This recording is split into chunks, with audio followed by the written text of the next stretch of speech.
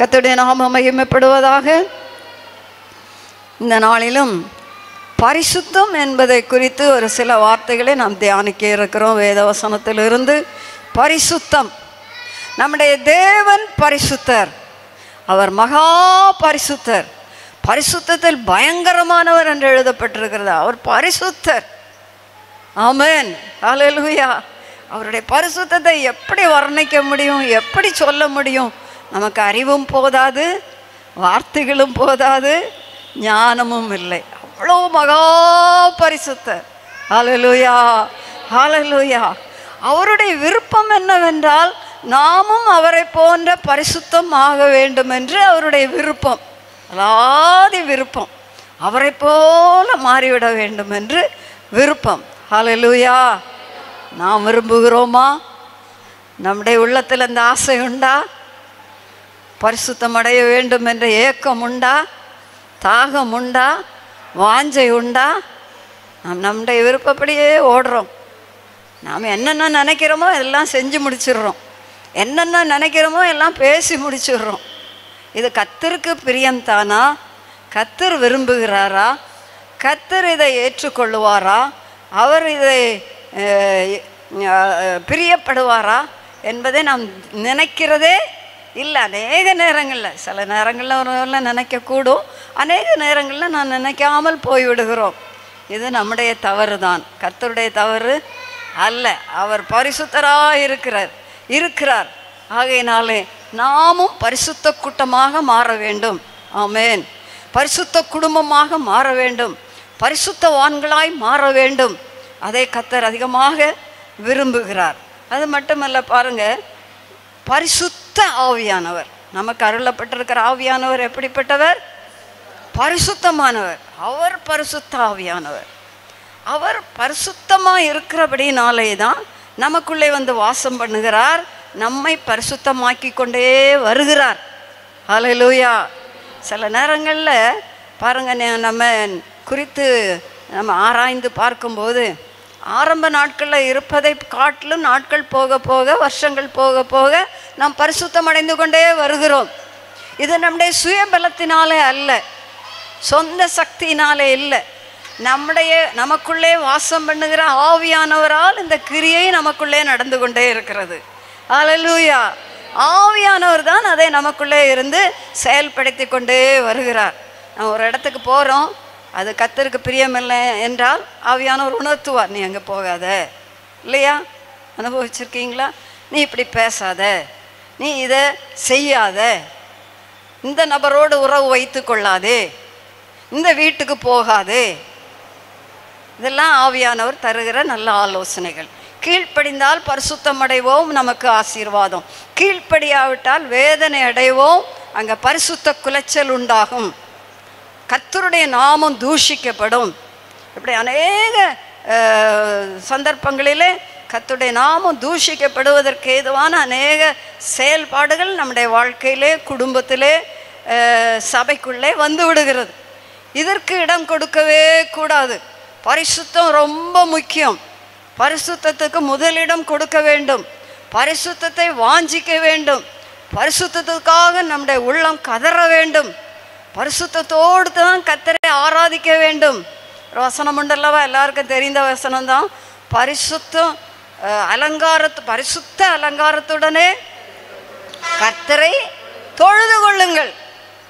அது ஒரு அலங்காரமாய் நமக்கு கொடுக்கப்பட்டிருக்கிறது பரிசுத்தம். நம்ம பார்க்கும்போதே ஆ இவங்க பரிசுத்தவான். இவங்க பரிசுத்த வாட்டி இவங்க பரிசுத்தமாக ஜீவிக்கிறவங்க.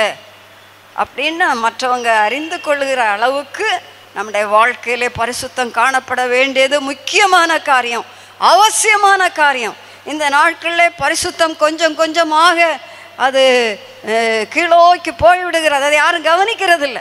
நம்ம இஷ்டம் போல ஜீவிப்போம் இஷ்டம் போல் நடப்போம் இஷ்டம் போல் உடுத்துவோம் இஷ்டம் போல எல்லாம் பண்ணுவோம்.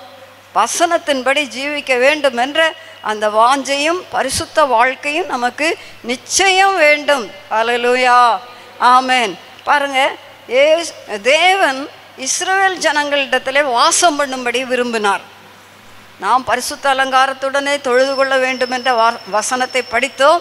யாருக்கும் எல்லாருக்கும் தெரிந்த வார்த்தை தான் ஆனால் தேவன் பாருங்க பரிசுத்தராக இருக்கிறபடினாலே இஸ்ரவேல் ஜனங்களை எயித்திலிருந்து வழிநடத்தி கொண்டு வருகிறார் வனாந்தரத்தில். வனாந்தரத்தில் அவர்கள் நடந்து கொண்டே இருக்கிறார்கள். அவர்கள் ஆனால் ஆண்டவருடைய சமூகம் அவர்களுக்கு முன் செல்லுகிறது. அக்கினி ஸ்தம்பமாகவும் மேக ஸ்தம்பமாகவும் அவர்களோடு சென்று கொண்டு தான் இருக்கிறார். என்றாலும் கர்த்தருடைய விருப்பம் என்னவென்றால் அவர்கள் நடுவில் வாசம் பண்ண வேண்டும். ஹalleluya. எவ்வளோ அன்பு பார்த்தீங்களா? ஆண்டவருடைய அன்பு. பரலோகத்தில் அவருக்கு எவ்வளோ மேன்மையான பங்கு கொடுக்கப்பட்டிருக்கிறது. தூதர்கள் ஓயாமல் அவரை துதித்து கொண்டே இருக்கிறார்கள் போற்றி கொண்டே இருக்கா இருக்கிறார்கள் புகழ்ந்து கொண்டிருக்கிறார்கள். அங்கே என்ன பாடல் சத்தம் கேட்கிறது? தூதர்கள் எப்படி பாடுறாங்க? சேனைகளின் கத்தர் பரிசுத்தர் பரிசுத்தர் பரிசுத்தர். சேனைகளின் கத்தர் பரிசுத்தர் பரிசுத்தர் பரிசுத்தர். தேவன் உயரும் உன்னதமான சிங்காசனத்தில் வீற்றிருக்கிறார். அவரை சுற்று சூழ தூதர்கள் கேரூபீன்கள் நின்று கொண்டிருக்கிறார்கள். அவர்கள் முகத்தை கூட பார்க்க முடியல தேவனுடைய முகத்தை. அவர் சிங்க உய- சிங்காசனத்தில் வீற்றிருக்கிற தேவனுடைய முகத்தை பார்க்க கூடாதபடிக்கு அவர்கள் தங்கள் முகத்தை மூடிக்கொள்ளுகிறார்கள் ரெண்டு சட்டைகளால். ரெண்டு சட்டைகளால் கால்களை மூடிக்கொள்ளுகிறார்கள். ரெண்டு சட்டைகளால் பறந்து ஓய்வில்லாமல் சொல்லி கொண்டிருக்கிறார்கள் அலலூயா பரலோகத்தின் சேனைகள் கத்தரை போற்றி புகழ்ந்து கொண்டிருக்கிறார்கள். அப்படி மேன்மைப்படுத்தப்பட்டவராய் மகிமை உள்ளவராய் பிரகாசம் உள்ளவராய் உன்னதமான சிங்காசனத்தில் வீற்றிருக்கிற தேவனுக்கு இந்த மனுஷத்தில் வாசம் பண்ண வே- வேண்டும் என்ற விருப்பம் வந்து விட்டது அது எவ்வளோ பெரிய அன்பு. அலலூயா ஆகையினால தான் ஆதாம் ஏவாளை சிருஷ்டித்து அவர் இந்த பு- குளிர்ச்சியான பகலில் குளிர்ச்சியான வேலையில் அவர்களோட உலாவும்படியாக வருவார். அவர்களோடு உறவு வைத்திருந்தார் நெருக்கமான உறவு வைத்திருந்தார். இதை வஞ்சகன் பார்த்தான் பிரித்து விட்டான்.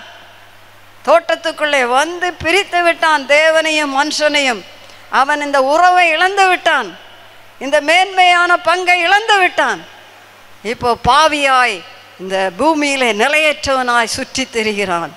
அலலூயா இப் இந்த சூழ்நிலையில தான் ஆப்ரஹாமை கத்த தெரிந்து கொள்ளுகிறார். ஆப்ரஹாமின் சந்ததி தான் இஸ்ரவேலர். இஸ்ரவேல் ஜனங்கள் எய்த்தில் அடிமைப்பட்டு கிடக்கிறார்கள். அவர்களை வெளியே கொண்டு வருகிறார். அவர்களை வெளியே கொண்டு வந்து இப்போதான் சொல்லுகிறார். என்ன சொல்லுகிறார்? அவர்கள் நடுவிலே நான் வாசம் பண்ணும்படி சொல்லுங்க அப்புறம். தெரியலையா? யாத்திராகம் இருபத்தஞ்சி எட்டு படியுங்கள். இது மனப்பாடமாக தெரியும் அந்த பரிசுத்தத்தை குறித்த வாஞ்சை நமக்கு இருதயத்தில் வேணும். வேத புஸ்தகத்தை படிக்கும்போது பரிசுத்தம் பரிசுத்தம் என்பதை அதை நீங்கள் அண்டர்லைன் பண்ணி வைத்து அந்த வார்த்தைகளை கவனிக்க வேண்டும். அதை உன்னிப்பாய் க படிக்க வேண்டும். அதை இருதயத்தில் பதித்திருக்க வேண்டும். படிங்க யாராவது.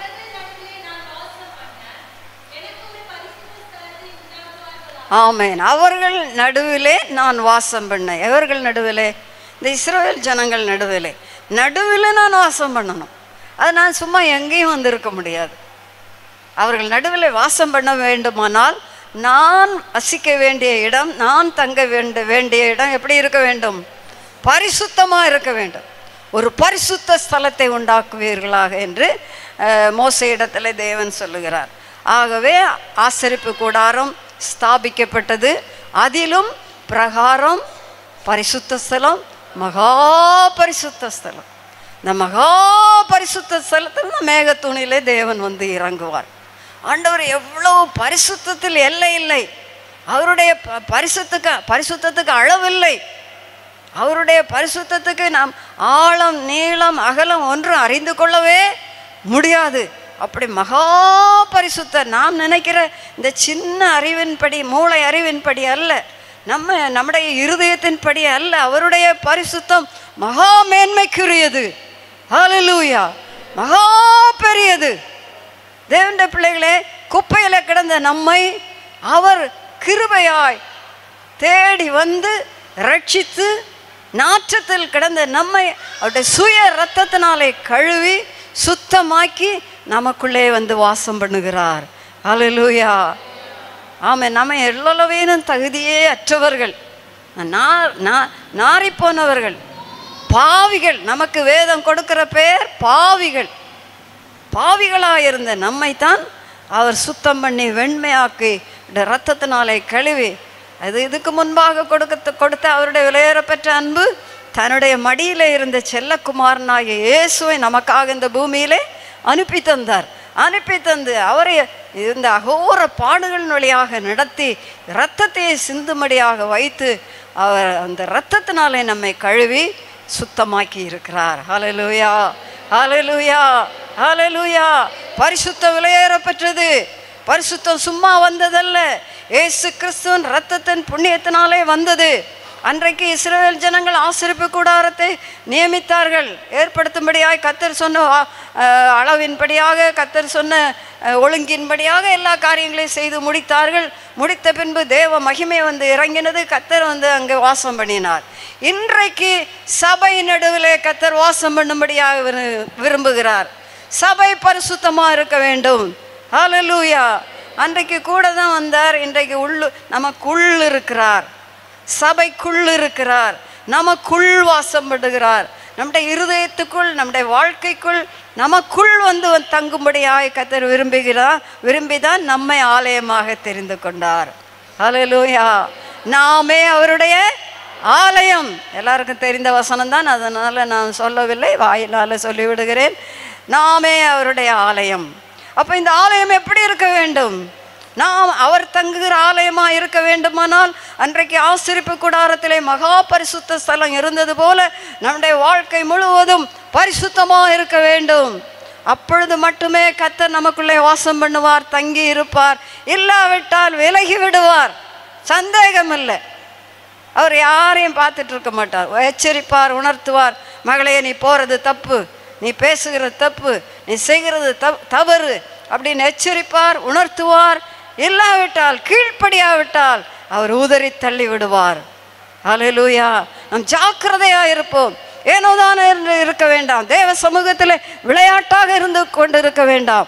பரிசுத்தத்தை வாஞ்சிப்போம். எப்படி கத்திற்கு பரிசுத்தமாக இருக்க முடியும்? என்ன வார்த்தைகளை கொண்டு கத்தர் நம்மை பரிசுத்தம் செய்ய விரும்புகிறார்? கத்தர் எப்படி நம்மை பரிசுத்தம் பண்ண விரும்புகிறார்? அதற்கு முற்றிலும் நம்மை அர்ப்பணித்து விட வேண்டும். ஆமேன். ஹலலூயா ஹலலூயா பரலோகத்தில் நான் சொன்ன மாதிரி பரலோகத்தில் ஓயாமல் பாடிக்கொண்டிருக்கிற ஒரு சத்தம் என்ன? இஸ்ரவேலின் தேவனாய கத்தர் பரிசுத்தர் பரிசுத்தர் பரிசுத்தர். வெளிப்படுத்தின விசேஷம் நான்காவது அதிகாரம். அதை ஒரு வசனத்தை படித்து விடலாம். ஆ படிங்க.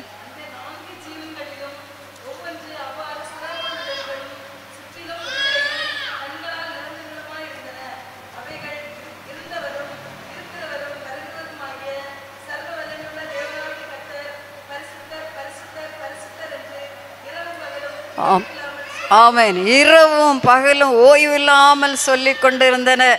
அங்கே அந்த பரிசுத்தவான்கள் கூட்டம் சொல்லுகிற வார்த்தை ஒரே வார்த்தை. தேவன் அன்புள்ளவர் தேவன் இரக்கமுள்ளவர் தேவன் கிருபை உள்ளவர் தேவன் அழகானவர் ஆச்சரியமானவர் அற்புதங்களை செய்கிறவர் அதிசயங்களை செய்கிறவர். எத்தனையோ அடைமொழிகள் அவருக்கு கொடுக்கலாம். இல்லையா?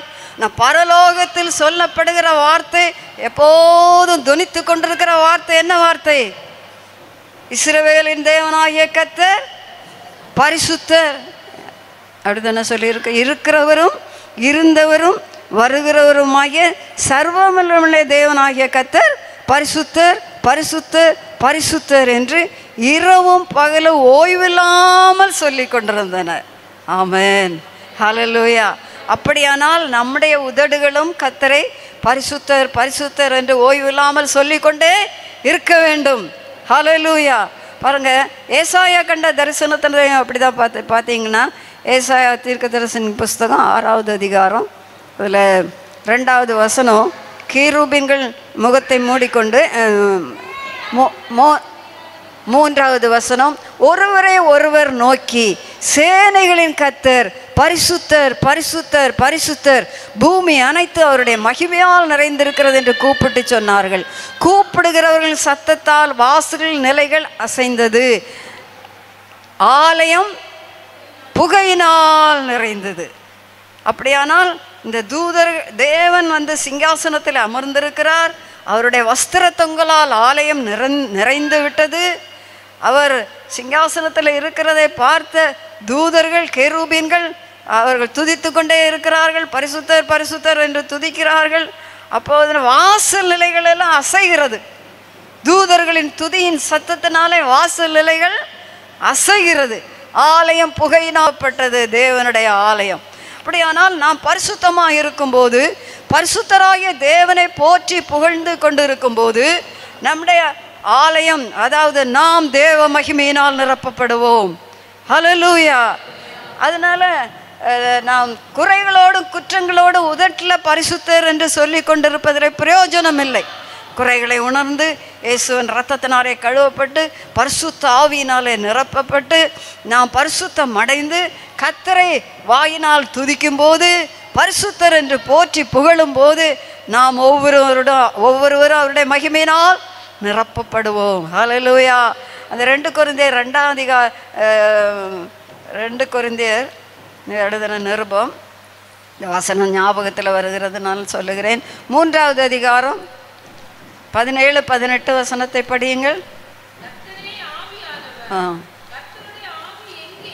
ஆ. ஆ.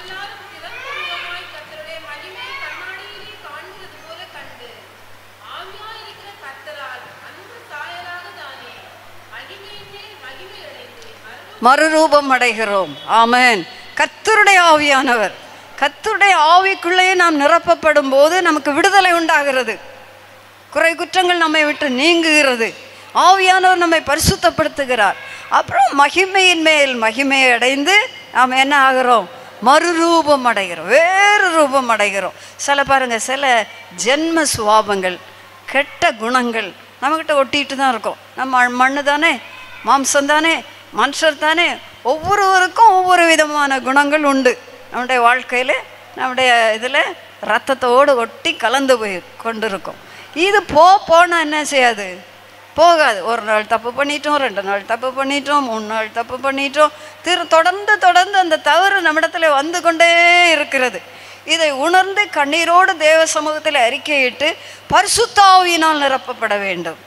அப்படியானால் அந்த ஜென்ம குணம் பரிசுத்த அக்கினினாலே சுட்டரிக்கப்பட்டு சுட்டரிக்கப்பட்டு நாம் மறுரூபமாகி கொண்டே இருப்போம். இது ஒரு நாள் ரெண்டு நாள் கா வேலை அல்ல. ஒரு வருஷம் ரெண்டு வருஷம் வேலை அல்ல. மரண பரியந்தம் இந்த வேலை நமக்குள்ளே நடந்து கொண்டே இருக்க வேண்டும். ஹalleluya கர்த்தருடைய வருகை பரியந்தம் இந்த வேலை நமக்குள்ளே நடந்து கொண்டே இருக்க வேண்டும்.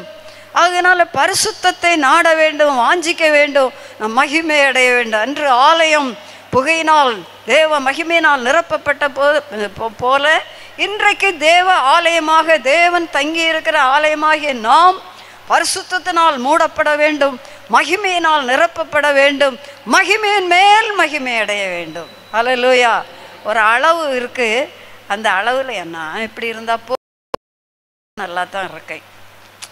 அவங்கள விட நல்லா தான் இருக்கு. அந்த பாஸ்டரை விட நான் நல்லா தான் இருக்கேன்.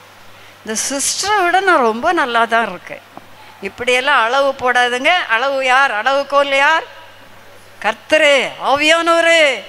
நாம் அந்த முதல்ல சொன்னது போல மரண பரியந்தம் நாம் பரிசுத்தம் அடைந்து கொண்டே இருக்க வேண்டும். ஆவியினால் நிரப்பப்பட்டு கொண்டே இருக்க வேண்டும். இல்லாவிட்டால் நம்முடைய ஜென்ம குணம் நம்மை விட்டு போகாது. அது ஒட்டி கொண்டே இருக்கும். நம்ம ரத்தத்தோடு கலந்தது. அந்த நாம் பேசுகிற வார்த்தைகள் நம்முடைய செயல்பாடுகள் நம்முடைய முறைகள் இதில் எல்லாம் வருகிற தவறுகளை எல்லாம் ஆவியானவர் நன்கு அறிந்து நம்ம கூட சில நேரம் நம்ம செஞ்சது தவறுன்னு தெரியறதில்ல. அப்படியே விட்டுட்டு போயிடுவோம். அப்படி பேசிட்டு அப்படி செஞ்சுட்டு அப்புறம் போய் நல்லா கையை தட்டி பாட்டை பாடுவோம் அந்நிய பாஷைகளை பேசுவோம் அப்படியே போயிட்டே இருக்கும். ஆனால் குறை இருக்கிறது குற்றம் இருக்கிறது தவறு இருக்கிறது என்பதை ஆவியான உணர்த்தி தருவானால் அங்கே ஸ்டாப் பண்ணி நம்ம ஆண்டவருடைய சமூகத்தில் தாழ்த்தி ஜெபிக்க வேண்டும். ஆண்டவரை நோக்கி கூப்பிட வேண்டும். கதற வேண்டும். கண்ணீர் விட வேண்டும். நம்ம என்னென்னோ காரியங்களுக்காக எல்லாம் கண்ணீர் விட்டுட்டு இருக்கோம் இல்லையா? இப்போ கண்ணீர் விட வேண்டியதும் கதற வேண்டியதும் கூப்பிட வேண்டிய காரியம் பரிசுத்தமாகும்படி. அலலூயா குருந்தியரில் சொல்லப்பட்டிருக்கிறது பரிசுத்தமாகுதலை தெய்வ பயத்தோடு பூரணப்படுத்தி கொள்ளுங்கள். நான் பரிசுத்தம் ஆயிட்டேன்னு நினைக்கிறதுக்கு ஒன்றுமே இல்லை. ரெண்டு குருந்தியர் ஏழாம் ரெண்டு குருந்தியர் நிருபம். ஏழாவது அதிகாரம் கடைசி பாகம். அது முழுசும் படித்தாலே நல்லா இருக்கும்னு நினைக்கிறேன். இப்படிப்பட்ட வாக்குத்தத்தங்கள் நமக்கு உண்டாயிருக்கிறபடியினால் எப்படிப்பட்ட வாக்குத்தத்தம்? ஆறாவது அதிகாரத்தில் பதின் பதிமூன்றாம் வசனத்தில் இருந்து சொல்லப்பட்டிருக்கிறது. அங்கே விட்டு விலக வேண்டியதை குறித்து அநேக காரியங்களை பவுல் சொல்லிக்கொண்டே வருகிறார். சொல்லிவிட்டு இப்படிப்பட்ட வாக்குத்தத்தங்கள் இருக்கிறபடியினாலே நாம் என்ன செய்ய வேண்டும் என்றால் கத் நமக்கு உண்டாயிருக்கிறபடியால் பிரியமானவர்களே மாம்சத்திலும் ஆவியிலும் உண்டான எல்லா அசுசியும் நீங்க நம்மை சுத்திகரித்து கொண்டு பரிசுத்தமாகுதலை தேவ பயத்தோடே பூர்ணப்படுத்தி கொள்ள கடவுள் பூர்ணமாக்க ஹalleluya. இப்போ பாருங்க ஒரு அதாவது ஒரு ஆர்டிஸ்ட் வந்து ஒரு இது ப படம் வரைகிறாருன்னு வைங்க. அவர் நிறைய காரியங்களை வரைஞ்சி வரைஞ்சி வரைஞ்சி வரைஞ்சி பார்த்து அப்படி பார்த்து இப்படி பார்த்து ஒரு பேர்டு ஒரு பறவையை வரைய வேண்டாம் இல்லை புறாவை வரைகிறாருன்னு வச்சுக்கோங்க. அது சிறகை வரைஞ்சி காலை வரைஞ்சி மூக்கை வரைஞ்சி தலையை வரைஞ்சி எல்லாத்தையும் வரைஞ்சி வரைஞ்சி வரைஞ்சி வரைஞ்சி வச்சுருப்பார். அப்படி பார்த்து பார்த்து பார்த்து மைன்யூட்டாக பார்த்து பார்த்து பார்த்து எல்லாத்தையும் அழகாக வரைஞ்சிட்டே இருப்பார். கலர் கொடுத்துட்டே இருப்பார். எல்லாம் பண்ணிக்கிட்டே இருப்பார். கடைசியில் ஒரு டாட் வச்சுருப்பார். கடைசியாக அது என் இது முடிவாகி இதை நான் செஞ்சிட்டேன் இதை முடிக்க போகிறேன் அப்படின்றதுல நேரம் வரும்போது அந்த இதை போட்டு முடித்து கொடுத்துருவார். இப்படியே நம்முடைய வாழ்க்கையிலே பரிசுத்தம் அடைந்து கொண்டே இருக்க வேண்டும். அதுக்கு அளவு கிடையவே கிடையாது. நான் முதல்ல சொன்ன மாதிரி யார் தான் அளவுகோல் கர்த்தர் தான் அளவுகோல் அப்போ பரிசுத்தமாகுதல் பூரணமடைய அந்த ஆர்டிஸ்ட்டு வரைஞ்சி அந்த ஒரு ஒரு புறா ஒரு படம் அதை வரைந்து அவர் முடிவு பண்ணுறது போல கத்தர் நம்மை பரிசுத்தப்படுத்தி கொண்டே இருக்கிறார். சில நேரம் கடினமான பாதையில் நடத்துவார் தெரியுமா உங்களுக்கு? தாங்க முடியாது. இப்படி இப்போ இப்படியும் கடினமான பாதையா ஆண்டவரே அப்படின்ட்டு நம்ம முறுமுறுப்போம். சோர்ந்து போவோம். இனி ஜெபமே வேண்டாம். ஆலயத்துக்கும் போக வேண்டாம். அப்படின்னு மூடிட்டு படுத்துக்கலாமா? இப்படி கஷ்டத்தை எனக்கு தாங்க முடியாதே அப்படின்ட்டு நினைப்போம் இல்லையா? ஆனால் தே ஆண்டவருடைய சமூகத்தில் போய் உட்கார்ந்து நம்மை தாழ்த்தி ஜெபித்து நம்முடைய குறைகளை உணர்ந்து அறிக்கையிட்டு சுத்தம் அடைவோமானால் அந்த கஷ்டம் சுலபமாக நீங்கிவிடும். ஹalleluya. அது எப்படி போகும்னு தெரியாது. அப்படியே நம்மை விட்டு ஆண்டவர் நீக்கி விடுவார் எல்லாம் இல்லை. சில நேரம் நம்மை புடமிட்டு பரிசுத்தப்படுத்துகிறார். சில நேரம் நம்முடைய விசுவாசத்தின் அளவை சோ சோதித்து பார்க்கிறார். நம் பொறுமையை தரும்படியாக அந்த- அந்த பாதையின் வழியாக நடத்துகிறார். நம்முடைய அன்பை வெளிப்படுத்தும்படியாக சில நேரங்களில் அந்த பா பாடுகள் வழியாக நடத்துகிறார். பல சூழ்நிலைகள் வழியாக கத்தை நம் ந- ந- நடத்தி ஒட்டுமொத்தமாக சொல்ல வேண்டுமானால் பரிசுத்தம் பூரணமடைய வேண்டும். இது தெய்வ பயம் வேண்டும். நான் செஞ்சிட்டேன் நான் பண்ணிட்டேன் நான் நல்லா ஜெபிக்கிறேன் நான் நல்லா இருக்கிறேன் அப்படின்னு பெருமை பாராட்டுறதுக்கு அங்கே ஒன்றுமே இல்லை. எங்கே என்ன இருக்க வேண்டும் எல்லா சூழ்நிலையிலும்? தேவனுக்கு பயப்படுகிற தெய்வ பயத்தோடையே பூர்ணப்படுத்தி கொள்ள கடவோம் என்று சொல்லப்பட்டிருக்கிறது. தெய்வ பயம் எல்லா சூழ்நிலையிலும் நமக்கு இருக்க வேண்டும். நமக்கு நல்லா இருக்கிறேன்னு பெருமை பாராட்டுறதுக்கு ஒன்றுமே இல்லவே இல்லை. அதை நல்லா ஞாபகத்தில் வச்சுக்கோங்க. தெய்வ பயம் நமக்கு இருக்க வேண்டும். ஹலலூயா ஹலலூயா இந்த ஊழியம் பரிசுத்தமானது. ஊழியம் எப்படிப்பட்டது? பரிசுத்தமான ஊழியம். லூக்கா சுவிசேஷம் முதலாவது அதிகாரம் பதினேழாம் வசனத்தை படியுங்கள். லூக்கா ஒன்று பதினேழு.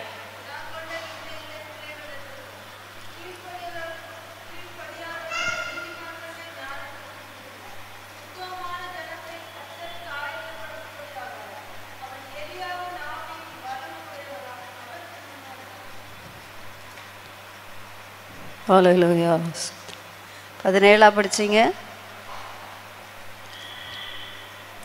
எழுபத்தி ஒன்று சாரி ஒன்று எழுபத்தி ஒன்று. ஆ. ம். ம்.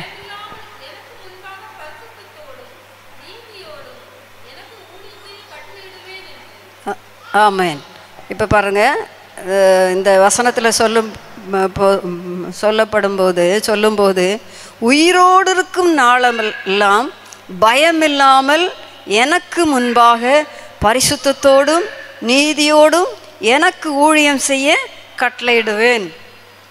பாருங்க கத்தர் சொல்லுகிறார். அப்போ ஊழியம் எப்படி செய்ய வேண்டும்? பரிசுத்தத்தோடு செய்ய வேண்டும். பரிசுத்தமான ஊழியம் இது. இந்த ஊழியம் குறைபட குற்றப்படக்கூடாது. பவுல் ஒரு இடத்துல சொல்கிறாரு இந்த ஊழியம் குற்றப்படாதபடிக்கு நாங்கள் எவ்விதத்தில் எங்களை கிறிஸ்துவின் ஊழியக்காரராக விளங்க பண்ணுகிறோம் சொல்லுகிறார். இந்த ஊழியத்தில் ஒரு குற்றமும் வந்து விடக்கூடாது அதுக்கு என்னை எப்படி தாழ்த்த வேண்டுமோ எப்படி என்னை நொறுக்க வேண்டுமோ எப்படி என்னை கீழ்ப்படுத்த வேண்டுமோ எப்படி நான் நடந்து கொள்ள வேண்டுமோ அதற்குரிய கிருபை எனக்கு ஒடு என்னை கீழ்ப்படுத்துகிறேன்னு சொல்கிறார் அவர் அவ்வளோ பெரிய அப்போஸ்தலன் தீ தீர்க்கதரிசி அவ்வளோ பெரிய ஊழியக்காரன் நம்ம சொல்லும்போது நாமெல்லாம் ஏமாத்துறோம். ஊழியம் பரிசுத்தமானது. பரிசுத்தோடு மட்டுமே கத்தருக்கு ஊழியம் செய்தால் அது நிலைத்து நிற்கும். பரலோகத்தில் பிரதிபலனை கண்டுகொள்வோம் ஹலலூயா ஹலலூயா இன்னும் பாருங்க இந்த இந்த ஆசிரிப்பு கூடாரத்தில் பிரதான ஆசாரியனை குறித்து சொல்லும்போது அந்த பிரதான ஆசாரியருக்கு தனியாக வஸ்திரங்கள் உண்டு ஊழியம் செய்வதற்கு. அவர் அந்த வாழ்க்கை மிகுந்த பரிசுத்தமாக இருக்க வேண்டும். வஸ்திரம் தனியாக இருக்க வேண்டும். இந்த வெளியில் அவர் நடமாடுகிற வஸ்திரத்தோடு அந்த ஆசிரிப்பு கூடாரத்துக்குள்ளே போகக்கூடாது. அந்த வஸ்திரத்தை எல்லாம் வைத்துவிட்டு கை கால்களை எல்லாம் கழுவி ஆசாரியனுக்குரிய வஸ்திரத்தை உடுத்தி கொண்டு தான் அந்த பரிசுத்த ஸ்தலத்துக்குள்ளே அவன் ஆசாரிய வேலையை செய்யும்படியாக போக முடியும். பாருங்கள் அவருடைய இந்த வஸ்திரங்கள்லாம் மேன்மையாய் விளங்குவது தலையில் ஒரு தலைப்பாக வைக்கப்பட்டிருக்கிறோம். தலையில் என்ன வைக்கப்பட்டிருக்கிறோம்? ஒரு தலைப்பாகை. அது பரிசுத்த கிரீடம் என்று சொல்லப்பட்டிருக்கிறது. பரிசுத்த கிரீடம் அது. அந்த பரிசுத்த கிரீடத்தின் மேலே என்ன எழுதி கத்தருக்கு பரிசுத்தம் என்று முத்திரை வட்டாக எழுதப்பட்டிருக்கும். கத்தருக்கு பரிசுத்தம் என்று அதை எழுத எழுதியிருப்பாங்க. அஹ், யாத்ராக முப்பத்தி ஒன்பதாம் அதிகாரம். நீங்கள் அதை படிக்கலாம். படித்தவங்களுக்கு நல்லா தெரியும். யாத்ராகம் முப்பத்தி ஒன்பது முப்பது. ஆ. படிங்க. ஆ.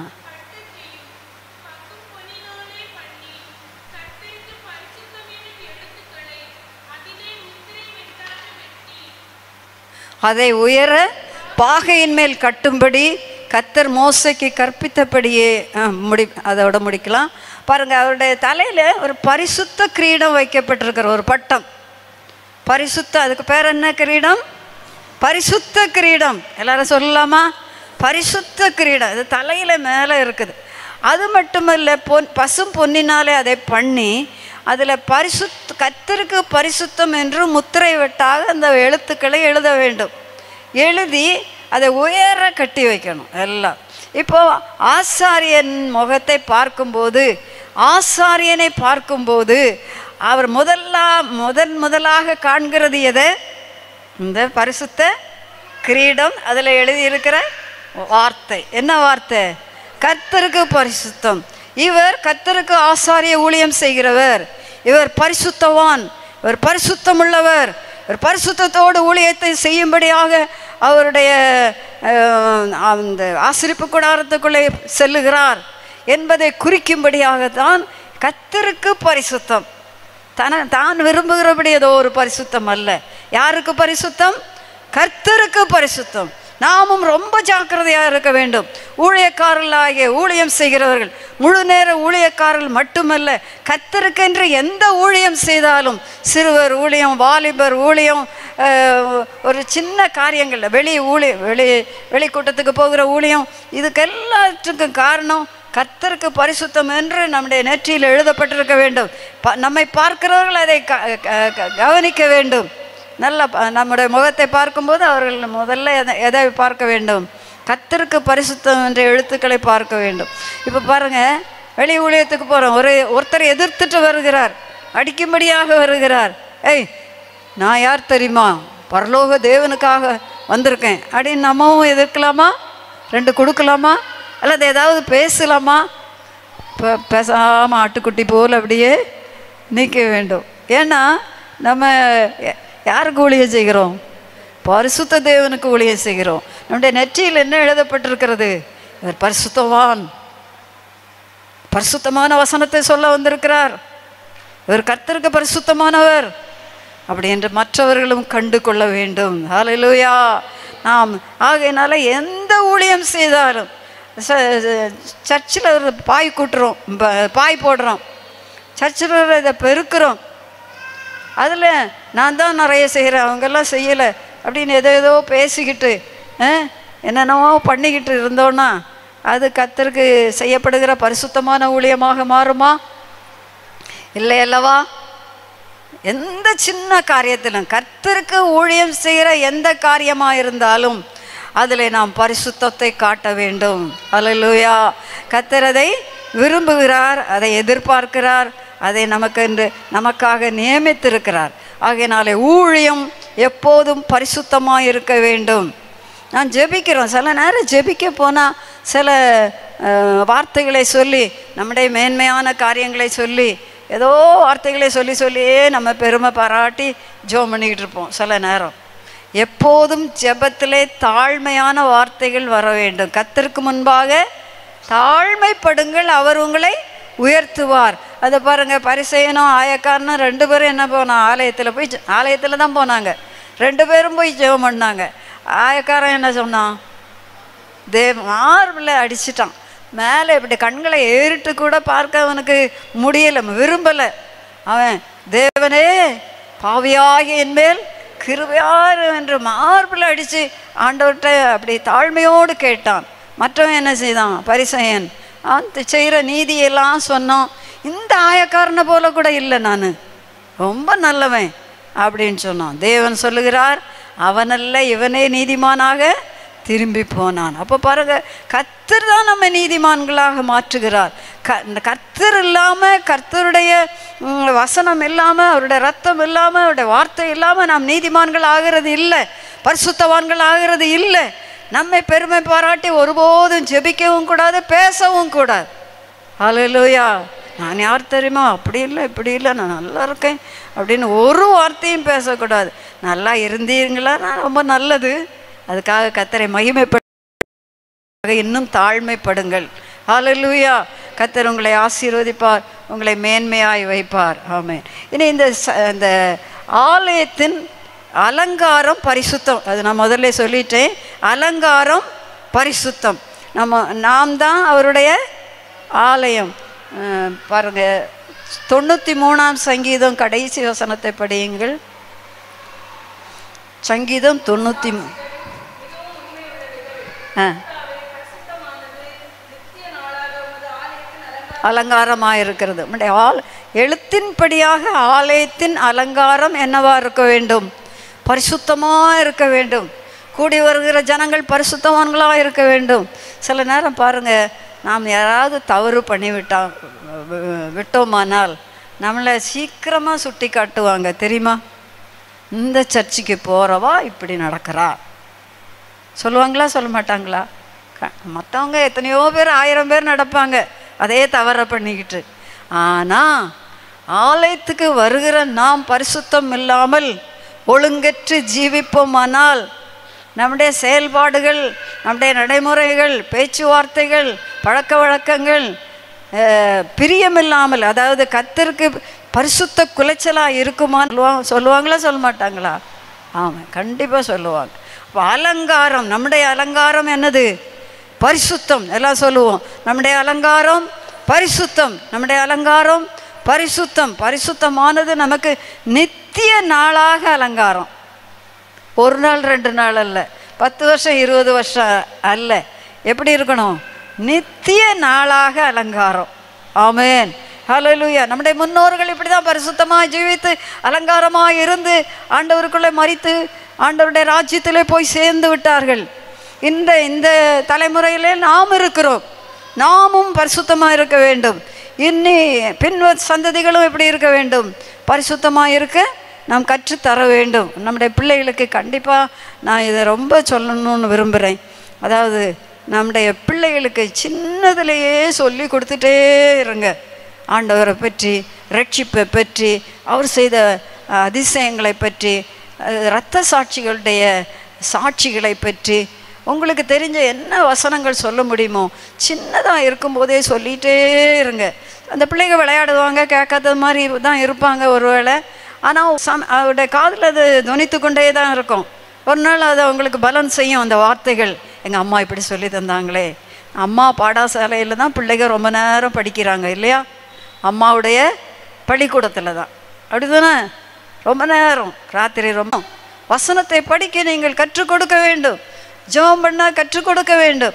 முந்தையெல்லாம் வசனம் அஞ்சு வசனம் மனப்பாடமாக சொல்லாட்டி சாப்பாடு கொடுக்க மாட்டாங்க. இப்போ பிள்ளைங்க என்ன சொல்கிறாங்க சாப்பாடு தராட்டி பரவாயில்ல நல்லது தான்றாங்க சரிதா? இப்போ பிள்ளைகளுக்கு சாப்பிடாட்டியும் வற்புறுத்தினா பிரச்சனை இல்லை. அவங்க சாப்பிடாமலும் ஜமாளிச்சுக்குவாங்க. சாப்பிட வைக்கிறது தான் கஷ்டமாக இருக்குது பாருங்க எப்படி காலம் மாறி விட்டது. பயங்கரமான காலமாக இருக்கிறது. இதன் இதன் இதன் நடுவில் நீங்கள் கண்ணீரோடு ஜெபிக்க வேண்டும். சொல்லுகிறது மட்டுமல்ல அவர்களுக்காக ஜெபித்து கொண்டே இருக்க வேண்டும். நான் முன்னே சொல்லியிருக்கிறேன் என்று நினைக்கிறேன். பல வேளைகளிலும் உங்கள் பிள்ளைகள் தலையின் மேலே நீங்கள் கை வைத்து ஜெபிக்க வேண்டும். நீங்கள் உங்கள் வேலையெல்லாம் இல்லை.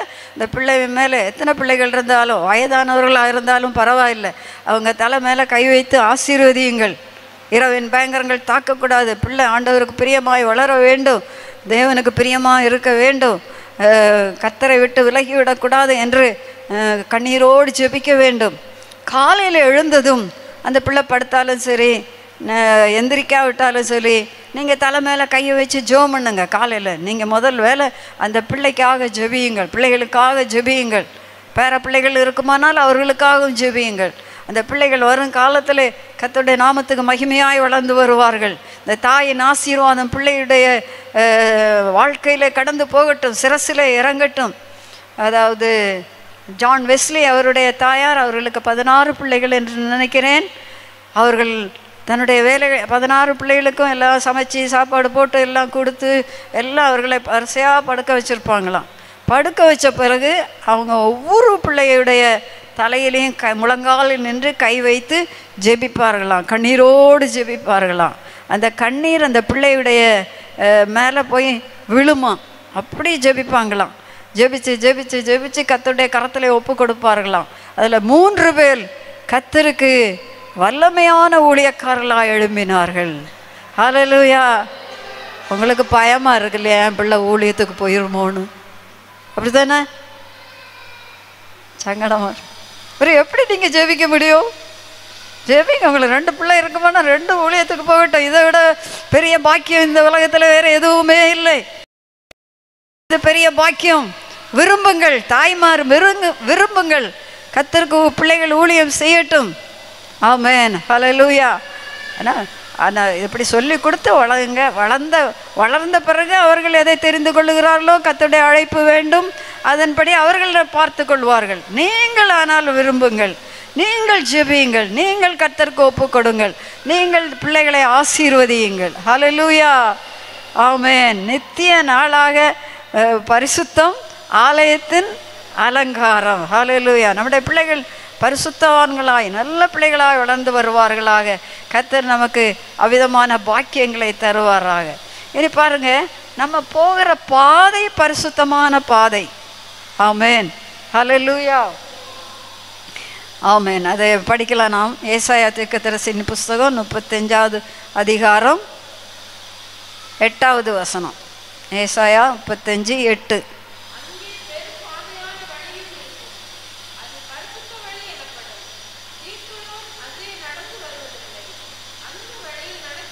பாவம் அசுத்தம் செய்துட்டு இந்த வழியில் வர முடியாது. வர தீட்டுள்ளவன் அதில் நடந்து வருவது இல்லை. அந்த பேதையராக இருந்தாலும் திசை கட்டு போகுது படிப்பறியாதவர்கள் தான் ஏழைகள் தான் ஒன்றும் தெரியாதவர்கள் போல தான் இருப்பாங்க. ஆனால் அவர்கள் திசை கட்டு போவதில்லை. அவர்கள் கத்தருக்காக வைராக்கியமாய் நிற்பார்கள். விசுவாசத்திலே உறுதியாக இருப்பார்கள். கத்தரை நேசிப்பதிலே உச்சக்கட்டத்தில் இருப்பார்கள். பேதை அவர்கள் இப்படி கத்தரை பின்பற்றுகிற கூட்டம் உண்டு. ஆமேன். ஹalleluya. ஹalleluya. ஆகையினாலே நாம் செல்லுகிற வழி என்ன என்ன பாதை? என்ன பாதை? பரிசுத்தமான பாதை. எல்லாரும் சொல்லுங்க. பரிசுத்தமான வழி. இது இந்த இந்த வழி எப்படிப்பட்ட வழி? பரிசுத்தமான வழி. இன்னும் மத்தையில் இயேசு சொல்லும்போது சொல்லுவார் சொ- சொல்லுகிறார். இந்த பெரும்பாலும் அந்த அதாவது இடுக்கமான வழியாய் உட்பிரவேசியுங்கள். கேட்டுக்கு போகிற வாசல் விரிவும் வழி விசாலவுமாக இருக்கிறது. அதன் வழியாய் போகிறவர்கள் அநேகர். ஜீவனுக்கு போகிற வாசல் இடுக்கமும் வழி நெருக்கமுமாக இருக்கிறது. நெருக்கமான வழி தான் இடுக்கமான வழி தான் இதில் பரிசுத்தம் தான் முக்கியமானது. ஆமேன். ஹலலூயா ஹலலூயா ஆகையினாலே நாம் செல்லுகிற வழி பரிசுத்தமான வழியாக இருக்கிறது. தீட்டுள்ளவன் நடந்து வருவதில்லை.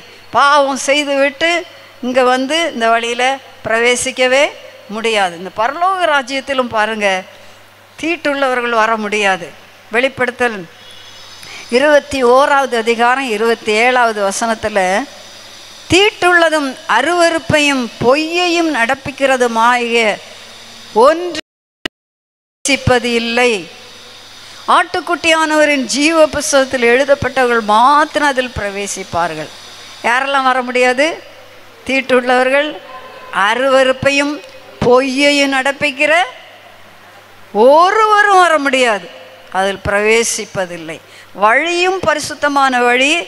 நாம் போய் சேருகிற இடமும் பரிசுத்தமானது. அங்கே தீட்டு இல்லை பொய் இல்லை அருவருப்பு இல்லை எதுவும் இல்லை. பரிசுத்தந்தான் எங்கும். பரிசுத்தம் தான் ஹலலூயா எங்கே பார்த்தாலும் பரிசுத்தம் பரிசுத்தம் பரிசுத்தம். ஆமே ஜோம் பண்ணலாமா? நம்முடைய அலங்காரம் எப்படி இருக்கிறது? பரிசுத்தமாக இருக்கிறதா? ஆமேன் ஹலலூயா ஹலலூயா ஹலலூயா ஜெபிக்கலாம். நாம் கத்துடைய ஆலயமாக இருக்கிறோம். அவர் தங்குகிற வாசஸ்தலமாக இருக்கிறோம். நம்மளை பரிசுத்தம் எப்போதும் காணப்பட வேண்டும். பரிசுத்தம் தான் மிகவும் முக்கியமானது. பரிசுத்த குலைச்சலான காரியங்கள் எது இருந்தாலும் அதை நீக்கி போட வேண்டும். அல்ல அதை நான் இன்றைக்கு சொல்லவில்லை. என்றாலும் உங்களுக்கு தெரியாத காரியமும் அல்ல. எல்லாவற்றையும் நீங்கள் அறிந்திருக்கிறீர்கள். ஆகையினாலே பரிசுத்தத்தை தீவிரமாய் வாஞ்சிப்போம். பரிசுத்த கூட்டத்தை சேர்க்கும்படியாக தான் இயேசு வருகிறார். அலலூயா அலலூயா சும்மா எல்லாரும் போய்விட முடியாது. பரிசுத்தமுள்ளவன் இன்னும் பரிசுத்தமாகட்டும் என்று கத்தருடைய வசனம் சொல்லி இருக்கிறது ஆகையினாலே பரிசுத்தத்தின் மேல் பரிசுத்தமாகும் கத்தர் நம்மை நிச்சயமாகவே பரிசுத்தப்படுத்தி அதை வாஞ்சியுங்கள். அதற்காக ஜெபியுங்கள். கத்தர் நிச்சயமாகவே உங்களை அந்த பரிசுத்த பாதையில் நடத்தி கொண்டே வருவார். ஹalleluya ஹalleluya. ஆலயத்தின் பிரமாணம் பரிசுத்தம். ஆலயத்தின் அலங்காரம் பரிசுத்தம். ஆலயத்தினுடைய பிரமாணம் என்னவென்றால் மலை உச்சியின் மேல் சுற்றிலும் அதன் எல்லை எங்கும் மிகவும் பரிசுத்தமாக இருக்கும் இதுவே ஆலயத்தின் பிரமாணம். ஹலலூயா ஹலலூயா ஹலலூயா வாழ்க்கை முழுவதும் பரிசுத்தமாகட்டும். எப்படியோ ஜீவித்து எப்படியோ நடந்து எப்படியோ வாழ்ந்து அவருடைய ராஜ்யத்துக்குள்ளே போய்விடலாம் வருகையிலே போய்விடலாம் என்று சற்றேனும் நினைக்காதீர்கள். அது நடக்கவே நடக்காது. பரிசுத்தம் மிகவும் முக்கியமானது. ஹalleluya தேவன் பரிசுத்தர். அழைத்தவர் பரிசுத்தர். உங்களை மற்ற ஜனங்களிலிருந்து பரிசுத்தவான்களாய் ஜீவிக்கும்படி நம்மை தெரிந்து கொண்டார். ஹalleluya ஹalleluya மற்றவர்களைப் போல நாம் ஜீவிப்பதற்காக அல்ல. கத்தர் நம்மை மற்ற ஜனங்களிலிருந்து பிரித்து எடுத்து அவருக்கேற்ற பரிசுத்தவான்களாய் மாறும்படி ஏற்படுத்தி பூமியிலே. அசுத்தம் நிறைந்த உலகம்தான் பாவம் நிறைந்த உலகம். அக்கிரமம் நிறைந்த உலகம். அநியாயம் நிறைந்த உலகம். இதிலே நாம் பரிசுத்தமாய் ஜீவிப்பதற்கு ஆவியானவர் உதவி செய்கிறார். ஹalleluya ஹalleluya ஆவியானவருக்கு இடம் கொடுத்தால் நிச்சயம் நம்மை பரிசுத்தம் செய்வார். ஹalleluya இயேசு கிறிஸ்துவின் ரத்தம் நம்மை பரிசுத்தமாக்குகிறது. ஹalleluya ஹalleluya ஹalleluya ஆமென். சொந்த ரத்தத்தினாலே நம்மை பரிசுத்தம் செய்யும்படியாக நகர வாசலுக்கு புறமே அவர் பாடுபட்டார். ஹோலி மாறாகதோ ஹalleluya ஹalleluya சொந்த ரத்தம் கொண்டல்லவா? தேவனுடைய பிள்ளையே உன்னையும் என்னையும் கத்தர் பரிசுத்தம் செய்கிறார். நகர வாசலுக்கு புறமே அவர் பாடுபட்டார். ஹalleluya ஹalleluya பரிசுத்தம் சும்மா வரவில்லை. அவர் பட்ட பாடுகளினாலே அவர் சிந்தின ரத்தத்தினாலே நகரத்துக்கு புறம்பே போய் ஒரு பாதகனை போல சிறுவை மரத்திலே அவர் மூன்று ஆணைகளிலே வானத்துக்கும் பூமிக்கு நடுவாக அவர் தொங்கி இந்த பரிசுத்தத்தை சம்பாதித்து வைத்திருக்கிறார். லோரி மலஹதுர பௌலி பனாசியா நினாலதனகமாசியா கத்தாவே என்னை பரிசுத்தமாக்கும். கர்த்தாவே என்னை பரிசுத்தமாக்கும் நீர் பரிசுத்த உமக்கேற்ற பரிசுத்தத்தை எனக்கு தாருமையா தாருமையா. ஹலலூயா ஹலலு எல்லாரும் கத் ஆண்டவரை நோக்கி கூப்பிடுவோம். ஹாலலூயா ஹாலலூயா நிச்சயம் கத்தர் நம்மை பரிசுத்தம் செய்யும்படியாக விரும்புகிறார். நீங்கள் அவர் தங்குகிற ஆலயம் அல்லவா? இந்த ஆலயம் பரிசுத்தமாக இருக்க வேண்டுமே. ஹalleluya. ஆலயத்தின் பிரமாணம் பரிசுத்தம். ஆமேன். ஆலயத்தின் அலங்காரம் பரிசுத்தம். நீங்கள் உங்கள் சரீரத்தை எவ்வளோ அலங்காரப்படுத்தி கொண்டு ஆலயத்தில் வந்து ஆராதனை செய்தாலும் பரிசுத்தம் இல்லாவிட்டால் அந்த ஆராதனையில பிரயோஜனமே இல்லை. ஹாலலூயா அந்த ஜபத்தில் பிரயோஜனமே இல்லை. ஹalleluya. பரிசுத்த அலங்காரத்துடனே மட்டுமே கத்தரை ஆராதிக்க சேர முடியும். கத்தரோடு சேர முடியும். கத்தரை ஆராதிக்க முடியும். ஆமேன் ஹalleluya சோத்ரம் சோத்ரம் சோத்ரம் சோத்ரம் உம்மை ஆராதிக்கும்படியா எங்களை பரிசுத்தப்படுத்தும் ஐயா எங்களுடைய வாழ்க்கை முழுவதும் பரிசுத்தமாக இருக்கட்டும் ஐயா செய்கைகள் நடக்கைகள் சிந்தைகள் பேச்சுகள் எண்ணங்கள் எல்லாம் பரிசுத்தமாக இருக்கட்டும் ஐயா சோத்திரம் சோத்திரம் சோத்திரம் சோத்திரம். ஊழியம் பரிசுத்தமா இருக்கட்டும் ஆண்டவரே. ஊழியம் தீட்டுப்படக்கூடாதப்பா. ஹலலூயா ஹலலூயா எவ்விதத்திலும் கிறிஸ்துவின் ஊழியக்காரனா எங்களை விளங்க பண்ண கிருபை தாரும் ஆண்டவரே. ஸ்தோத்திரம் சோத்ரம் சோத்ரம் சோத்திரம் சோத்திரம் சோத்ரம் ஊழியக்காரனுடைய நெற்றியிலே கத்தருக்கு பரிசுத்தம் என்று முத்திரை வெட்டாக எழுதப்பட வேண்டுமே அப்பா. அதை எங்களுக்கு தந்து விடுமையோ தந்து விடுமையோ. பரிசுத்த குலைச்சலான காரியங்கள் எதுவும் வேண்டாம் அப்பா. ஏசப்பா சோத்திரம் சோத்திரம் சோத்திரம் சோத்திரம் நாங்கள் கத்தருக்கு பரிசுத்தமானவர்கள் அல்லவா? மனுஷ பார்வையிலே அல்லவே. கத்தருக்கு முன்பாக பரிசுத்தத்தோடு ஊழியம் செய்ய நாங்கள் கடமைப்பட்டிருக்கிறோமே ராஜா. உமக்கு ஸ்தோத்திரம் சோத்திரம் சோத்திரம் சோத்திரம் சோத்திரம் க்ளோரி க்ளோரி ஹalleluya கிருபை தாரு கிருபை தாரு பரிசுத்தமாக்கும் ஐயா பரிசுத்தமாக்கும் ஐயா பரிசுத்தமாக்கும் ஐயா ஆமென். இமாலா துர பௌரி மினா கபௌரி மிரா சியா லபோ மோசி லதுனா மாலியா ரகோதனி மிரமோ ஸ்மியாலமோ மோசி லைரி கர துனமோ லிட்டர ஷைனியோ லக்கர துரியோ. எல்லா பரிசுத்த பிரச்சனைகளை எடுத்து போடுவீராக. ஹalleluya ஹalleluya இயேசு கிறிஸ்துவின் ரத்தத்தினாலே கழுவி சுத்தமாக்குவீராக. பரிசுத்தாவியானவரே பரிசுத்தமாக்குவீராக. அப்பா உமக்கு சோத்திரம் சோத்திரம் சோத்திரம் சோத்திரம் சோத்திரம். நாங்கள் செல்லும் பாதை பரிசுத்த பாதையா இருக்கிறதே அப்பா. பரிசுத்த பாதை தீட்டுள்ளவன் அதில் நடந்து வருவதில்லை என்று எழுதப்பட்டிருக்கிறதே ராஜா. ஹalleluya எங்களுடைய வாழ்க்கையிலே காணப்படுகிற தீட்டு தீட்டுகள் அசுத்தங்கள் பாவங்கள் இவைகளோடு இந்த பரிசுத்த வழியிலே வந்து கொள்ள முடியாது. நடக்க முடியாதே அப்பா. இயேசுவை பின்பற்ற முடியாது. பரலோக ராஜ்யத்துக்குள்ளே பிரவேசிக்க முடியாது. தீட்டுள்ளதையும் அருவருப்பும் பொய்யை நடப்பிக்கிற ஒன்றும் அதில் பர- பிரவேசிப்பது இல்லை என்று சொல்லப்பட்டிருக்கிறது. பரிசுத்தமான இந்த பரிசுத்த வாசஸ்தலத்திலே பிரவேசிப்பதற்கு இப்பொழுதே எங்களை பரிசுத்தப்படுத்தும் ஐயா. பரிசுத்தத்தோடு இந்த பரிசுத்த பாதையிலே ஓட எங்களுக்கு கிருபைதார். பரிசுத்தோடு இந்த பரிசுத்த பாதையிலே உண்மை பின்பற்ற கிருபைதார் ஆண்டவரே. ஹalleluya எல்லா அலங்கோலங்களையும் எடுத்து போடும் எல்லா அவலட்சணங்களையும் எடுத்து போடும் எல்லா ஆண்டவரை சுயங்கள் பெருமைகள் மேட்டுமைகள் எல்லாவற்றையும் நீக்கி போடுவீராக. எசப்பா நமக்கு சோத்திரம் சோத்திரம் சோத்திரம் பூர்ண பரிசுத்தத்தை தாரும் அப்பா. பரிசுத்தமாகுதலை தெய்வ பயத்தோடு பூர்ணப்படுத்தி கொள்ள எங்களுக்கு கிருபை தாரு ராஜா. சோத்திரம் சோத்திரம் சோத்திரம் சோத்திரம் சோத்திரம் தேவநீர் பரிசுத்த தேவநீர் பரிசுத்த தேவநீர் பசு பரிசுத்தர் பரிசுத்தர். இருக்கிறவரும் இருந்தவரும் வருகிறவருமாய கத்தர் பரிசுத்தர். தேவனோய கத்தர் பரிசுத்தர் பரிசுத்தர் பரிசுத்தர் பரிசுத்தர். ஹalleluya ஹalleluya. சேனைகளின் கத்தர் பரிசுத்தர் பரிசுத்தர் பரிசுத்தர். ஆமன். பரிசுத்தம் பரிசுத்தம் விளங்கட்டும் அப்பா. இந்த ஆலயத்துக்குள்ளே பரிசுத்தம் விளங்கட்டும் ஆண்டவரே. இந்த ஆலயத்துக்குள்ளே பரிசுத்தம் விளங்கட்டும் ஐயா. இந்த சபைக்கு சபைக்குள்ளே பரிசுத்த விளங்கட்டும் ஆண்டவரே பரிசுத்த சபை அல்லவா சேர்க்க வரப்போகிறீர். கரைதிரை இல்லாது. ஆண்டவரே சுத்தமும் பிரகாசமும் ஆக்கப்பட்ட பரிசுத்த சபையை சேர்த்து கொள்ளும்படியாக நீர் வெளிப்பட போகிறீர் ஆண்டவரே. ஹாலலூயா ஹாலலூயா கரங்களை தட்டி நாம் கத்தரை ஸ்தோத்திரிப்போம். ஆமென் நாமே நாமே நாமே நாமே நாமே ஜெயம் எடுக்கிறோம் ஜெயம் எடுக்கிறோம். பரிசுத்தத்திலே ஜெயத்தை எடுக்கிறோம்.